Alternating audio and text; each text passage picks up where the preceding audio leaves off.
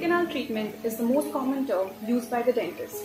If you have pain in your tooth and your dentist has advised you to get a root canal treatment done, so this video will be very helpful for you. Hello everyone, I am Dr. Deepika and today I'll be explaining you about the complete procedure of a root canal treatment. Root canal treatment is the most common procedure done to save your natural tooth. So first I would like to explain you about parts of our tooth.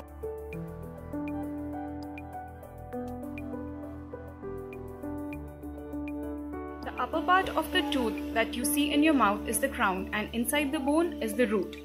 The first layer is the enamel which is white in color and is really strong. If this part of your tooth is decayed, you'll only notice food lodgement in that tooth, but you don't feel any pain. The second layer is the dentin, which is light yellow in color. When decay reaches the dentin, you start feeling sensitivity to hot and cold. In both of these above situation, only tooth filling is required. The third layer deep inside the tooth is the pulp. That is, the nerve of the tooth, which is pink in color, which extends from the crown till the tip of the root. When the infection reaches the pulp inside, you start feeling pain and in this situation, a root canal treatment is required. First, injection is given to numb the area so that during the procedure you doesn't feel any pain.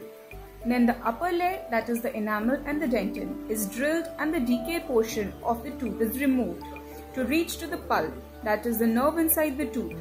Once we reach the pulp with small instruments we clean the infection till the tip of the root. Some medicines are also used inside the canal and then a temporary dressing is given. Once the pain subsides, first the canals are filled with the permanent biocompatible material that doesn't cause any harm to you. And then the cavity that was drilled will be filled with the permanent filling material. After root canal is completed, cap is advised to protect the tooth because during the root canal treatment, the infected nerve was removed and after the root canal treatment, the tooth becomes non-vital. And with time, it becomes weak and brittle and it starts breaking bit by bit. So to protect your tooth for long, cap is a mandatory thing after the root canal treatment. If you have taken so much of effort to get a root canal treatment done to save your tooth, cap is just one more add-on that will protect your tooth for long. I hope this video was helpful for you if you have to get a root canal treatment done. If you found this video helpful, please like and share.